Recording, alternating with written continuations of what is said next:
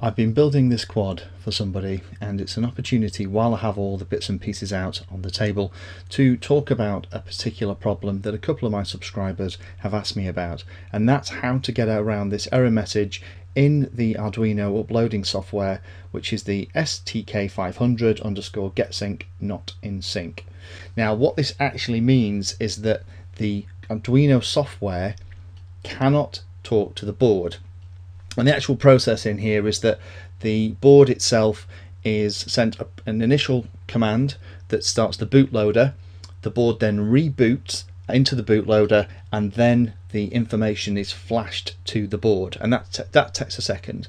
And what happens is once you click compile and upload in the top left hand corner, then once the compiling's done, that initial command is set and then the machine is sat waiting for the board to basically say I'm ready to for you to send the data. If it doesn't hear that in the right way, that's when you get this error message.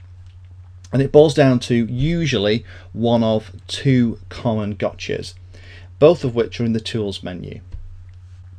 The first one is that you have the wrong board selected. There's a big list here of all the different boards that you can select. Make sure that you're picking the right one. Have a look at the, the processor that's uh, in the middle of the board and pick all the ones that have that processor listed. The one I use for the Cirrus SE V2.5s that seems to work great for me is this one here, Arduino Pro or Pro Mini.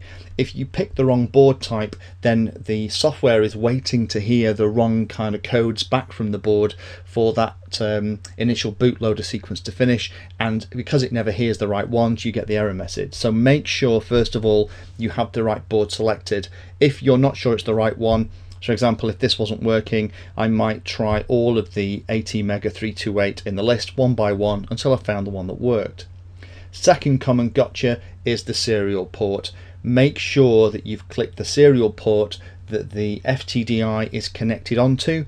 If you're not sure where that is, go into control panel, go into device manager, have a look which COM port is listed there and make sure you've selected the right one here. So whenever you have a problem uploading and you get the STK500 underscore getsync error message, first two things to always check, make sure your board's the right one and secondly, make sure the COM port is the right one too. Hopefully that helps those of you who are a bit stuck with this and uh, once you've done it a couple of times, it's like falling off a log.